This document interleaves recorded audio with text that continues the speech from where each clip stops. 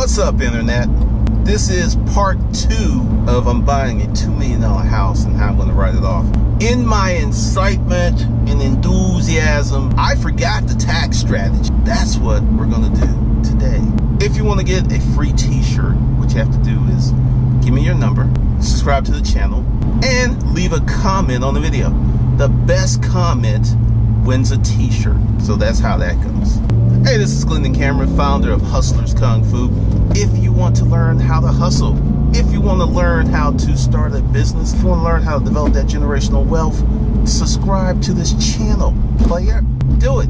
You won't regret it. So let's talk about some things that you need to do to prep yourself for this strategy. Now, this is something that many people don't know, even though it's blatantly staring them in the face. If you have a YouTube channel, use your house for your YouTube channel. The part of the YouTube channel that you use for your house or the part of your house that you use for your YouTube channel, you can write that off legitimately. If you have your channel set up as a business, if you have an LLC, if you do a lot of videos in that space, yes, you can write that off. Yes, my friends, you can that. Literally, and I've been meaning to create a course, and what I'm going to do is make it part of creating videos. Links below. The tax strategy, and I'm going to outline it, and you can check with your CPA and all this other stuff, and it's good. You create a YouTube channel, create an LLC to put the YouTube channel in. You get your EIN number, you set up your business checking. And you have a niche or focus or something. Because the reason most folks don't know this is they're not trying to pay taxes. They're trying to fly under the radar and stuff like that. If you use 50% of your house to create your YouTube videos, you can legitimately write off 50% of your house as your YouTube business if you have it all set up correctly. If you're doing sole prop, probably not going to work so well if you get audited. You could do it if you get audited. What's your thing? And I'm to give you some more stuff. Like, uh, as you can see, I'm in Monty today because I know my haters are like, he don't have that car. He got a big, big old car note. Yes, he does. Actually, I have no car notes, but continue to hate. Monty, well, Thor, this is Monty. Thor is the BMW, is in the company's name. I bought it. It is titled in MacDaddy Media. Now, that everything I do to that is a write-off. Essentially, I make videos in Thor. I use Thor to take places. I use Thor to take stuff to places. I'm going to actually pick up some stuff from IKEA in Thor. It is a legitimate company vehicle. And I make videos in it. I'm making videos in Monty because Thor is a corporate vehicle. Thor has corporate deductions and the weight and size has a lot to do with that too. This house that you saw, and you should go check out the first video, is 2.3 million. I'm going to be able to write off 100% or at least 50%, and I'm going to tell you why. I am going to use the whole house as a studio. I'm going to shoot a show in the house. It'll be indisputable proof that the house is used for business purposes. Mm-hmm, mm-hmm, yep. House is 2.3 million. At a minimum, I'll be able to write off 1.150,000. Yep. How do we get there and why do we want to put this house in the corporation? All right, time to confess. I got a little situations. I can't really own anything. Can't do it. But I can manage a lot. The house goes in the corporation, which is in the trust fund, which is for my kids.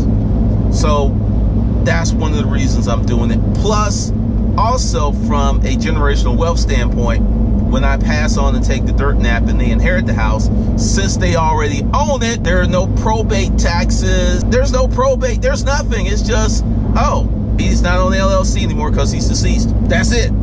So there, there's a lot more to it but I'm giving you the overview because you got to set this stuff up right. Yeah, that's what I'm going to do. And let's get back in the goal setting. If you're going to write your goals out, you need to write them out by hand. You need to write them on a sheet of paper. You need to review your goals often. You need to review what you want often because what it does is give you an unparalleled amount of power because this year I have accomplished every goal that I set out. I like really have smashed some. Some I just went a little over, feeling like, wow, I can do anything, right? And that's why I made this goal. $2.3 million for a house paid in cash. That's a lot of money. But once again, let's talk about that. let's say next year goes the way that I want it, a million or two in the bank. Now I got a situation with that money. Depending upon how I leave it in the corporation and depending upon what bank account it is, and the bank account must be labeled, I could possibly carry that over, but I have a feeling, just a feeling, that it's going to benefit me more to spend it. So let's say I have 1.5 million in the bank. I would probably pull the trigger on the house, even if I had to carry a small mortgage. And this is why. Depending upon the tax code, there, there's so many little gotchas. I'll have to review the code and look at it. But if this is the way that I believe it is now, I know someone in the comments will correct me like, no, you can't do that, man. You can't do that. No, they gonna come and get you. You can write off over five years or you can write it off in one year, how that goes. But anywho, I, I will sit down my CPA and we'll go over it. But I will get that money out of that account into something. If I buy the house under the Mac Daddy Media, and also I would create another child corporation. I actually probably should do that now. And I'll, I'll explain that, you know, you got a parent corporation, you got a child corporation, you've got, uh, let's say Thor. Thor is in Mac Daddy Media. It's, it's under the corporation Mac Daddy Media. I Thor is a vehicle, and Thor is exposed to a lot of risk.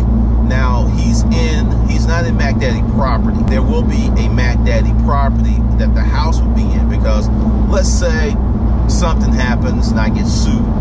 So Thor's at risk and the company's at risk. But the property, since it's not part of the Grand Collective, is not at risk. So you got to separate your LLCs you got to um, make sure, I don't know why I just did that, it's just fun, but you got to make sure that all of your stuff is squared away. And there's a certain way you have to do this with the parent corp and the child corp. You have to do it. If you don't do it this way, it doesn't work as well. I, I suppose you'd be protected, but I'm not sure. You know, both Monty and Thor drive so differently because this is kind of working out like Thor is the everyday car, the going to the office car, and Monty's kind of like the weekend car because like right now I am getting some tires, I'm getting some rims put on Thor. And it's tax deductible because Thor's a corporate vehicle. I can't tell you how excited I am. I might even get that throw the exhaust. But essentially, this is my POV, Monty. And Thor's the corporate so I'm not going to be able to deduct expenses. You only have you can only deduct miles or expenses, but I'm going to deduct expenses because from a mileage point, I don't really live that far from my office. I mean, I put literally 8,000 miles on the car in a year. Actually, that's not true. I put like seven. Everything that you do for a corporate vehicle, whether it's repairs, modifications, is tax deductible. Now, what is this? How does this help you? Because you're not going to buy a $2.3 million house. I am not so obtuse to forget about you. Essentially, what you do is take the information from this video and you crank it down to your level. Let's say you're a guy named Sue. That's a song, right? You have $150,000. You buy a $150,000 house and you set up your YouTube channel and all this other stuff, that will be in creating videos of course. You know, create videos that make money. Because I will spell this out in the blatant details. Then you, you have a $150,000 house, you have a car, you put in the YouTube channel. So all of these assets are not yours, but now they go from being not tax deductible to being tax deductible. So essentially, you can make 150, 200, 300,000 and because of the appropriate allocation of resources, you pay virtually no federal tax. You'll still have to pay, you know, state and all this other stuff. Could you could you imagine if your tax bill was only 15%? Could you live with that? Put that in the comments. Could you live with if you're what would you do with your money if you were only paying 15% in taxes? What would you do? Can you can you see the possibilities? And this is why I feel that YouTube is just beginning because there's so many people who don't properly set up their YouTube channel. YouTube is for kids. YouTube's for fun. That's not a real business model. Man, what, what you talking about, Glendon? You can't make no money with YouTube. Playboy? Tell us the real deal. I know it ain't this YouTube channel. It's the YouTube channel. and it's the intellect behind the YouTube channel. That's the tax strategy where I can live multi-million now, actually multi-million dollar house, and legitimately write off a lot of stuff. Bless America. God bless the tax code. Because this is another thing. All this overhaul and tax reform, even if they get some passed, it's not going to take effect for years. And I don't think they're going to get it passed. I think we're going to have the same old tax system, which I think is great because I know how to play the game. And if you're not playing the game, the game is playing you. That's just reality. Once again, if you're not playing the game, the game is playing you. And all of this hoofra and yeah, we're going to get the tax reform through and it's not going to happen. If it does, okay, I'll adjust my strategy. But I don't think it's going to happen. You play the game and use these things like I've told you to that you can save yourself a lot of money. You can put yourself up in good stead. Okay? So now I'm about to jump off into the day's offer. That's right. Every day that I do a video, I do an offer that lasts for 24 hours. So knowing how I'm going to be doing this, if you don't have your money ready, you best be getting some money ready because you're going to miss out and it's going to be crazy because remember, Hustle Camp started at $99. It's now selling for $27.50. Hello, can you smell a deal?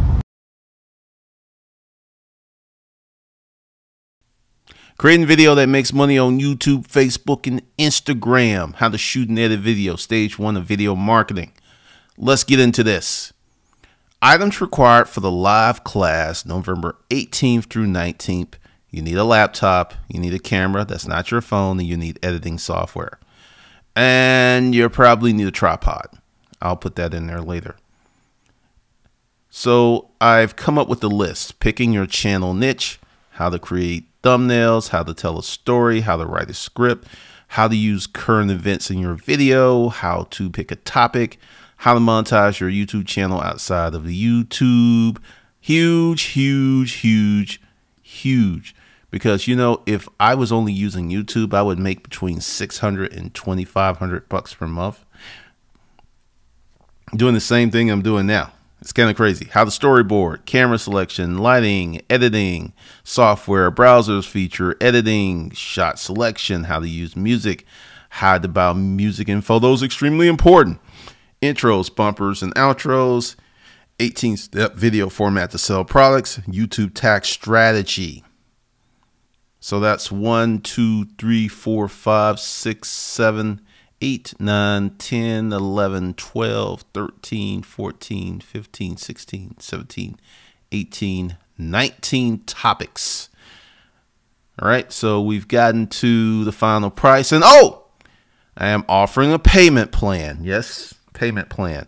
So what's going to happen is for those who get in today, I am going to create a coupon. Matter of fact, let's do it now. So let's see. Let's come in here. Let's go to a coupon. Let's get rid of that. Yep, we can delete that. So we'll do a new coupon, this course only. And we're going to do percentage. And we're going to do 50% off and just go 50 off. We'll call it 50 off. And this will expire. All right, so that's the coupon. So you want 50 off today. Now, what I am about to do. And let's see, let's go to Hustle Camp. And let's go to my courses. And let's go to bundles. Let's go here. If you buy Hustle Camp for $2,000, and how do you do that? You go under the video, and I will actually show you in the video how you do it as if my internet will move on. Oh, we'll go here. This is what you do. Perfect, because you're going to contact Patty. But you're going to come down here because this will be in under this video. It's just not done yet, so I can't show it to you. But you will come in here. You will use this. You will pay me $2,000. Then Patty will hook you up on both platforms. Once again, you come here, you put $2,000 you could put for goods or services. Then Patty will contact you. Patty will set you up. Now, Patty's hours are 11 a.m. to 7 p.m. So if you make your purchase after those times, she'll probably do it the next day because we don't work 24 hours. I know we should, but we just are human. We're carbon based life forms. So I don't know how that's going to work out. But 11 a.m. to 7 p.m. and she will, you know, if you do it during those hours, she'll hook you up. If you do it after those hours, she will hook you up the next day. So once again, use this link, pay me $2,000 then Patty will set you up with Hustle Camp and with uh, this. So that is your deal to, for today. You can get 50% off of this course, which is $750. There ain't nothing there yet. Uh, we'll start adding content to it because we're going to do the live stuff. But this will be very powerful this will be crazy over the top value because you go ahead and you start a YouTube channel, and I'm going to peep you to something. The course here is worth this alone. What if you could save 6,000, 8,000, 10,000, or for you ballers who are making like 100K, 20 G's? The YouTube strategy will be dope. So even if you just start a YouTube channel for fun and kicks, by following my YouTube strategy, you can save off your taxes from your JOB. Now, how cool is that? Now, that's slick, right? So, that's today's offer. It expires because this video is going to drop probably today. probably today. So, that's why I went a little longer.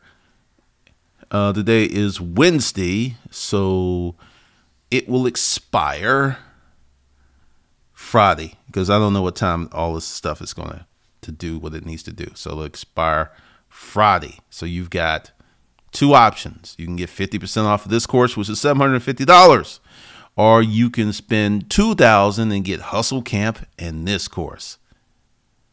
Pick it, player. Make it do what it do. And uh, I will see you guys later on the interwebs.